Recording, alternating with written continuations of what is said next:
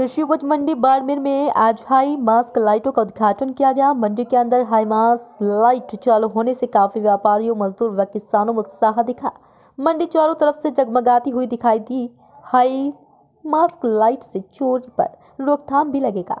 रात्रि में high mask light रात भर चालू रहने से चोरों पर अंकुश ज़रूर लगेगा। रात को जो गाइड गार्ड्स काम करती है।